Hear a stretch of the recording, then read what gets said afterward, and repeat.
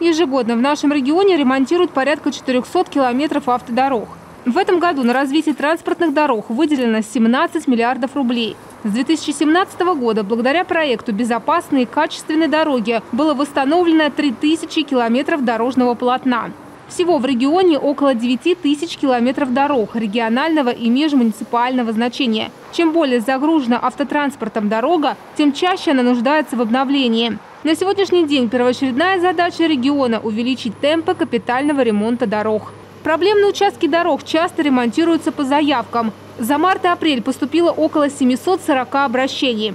Ряд дорог нуждаются в экстренном ремонте, но как скоро будет происходить их обновление, решают балансы содержателей этих магистралей.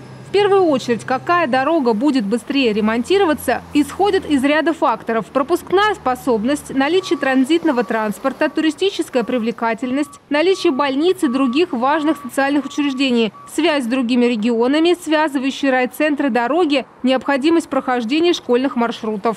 Из такого совещательного э, режима уже рождается заявка с разбивкой на этапы. Вот это в первую очередь от шести управ городского округа. Вот это во вторую очередь там, на 25 год. Это в третью очередь.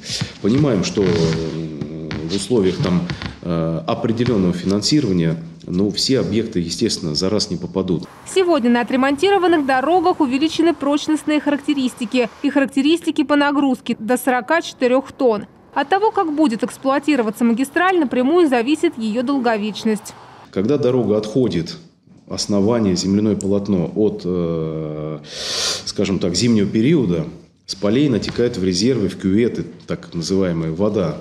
Дорога вся перенасыщена, она плывет, играет, основание, соответственно. Нагрузив дорогу максимально, мы получаем э, разрушение преждевременное, оползни. Мы видели, что э, полтора года на Воронеж-Луганск было в Кантемировском районе, как раз-таки за недобросовестными э, перевозчиками мы просто упусть... в несколько дней дорога уплыла. Собственно, приходилось возводить заново, э, реконструировать 18-метровую насыпь.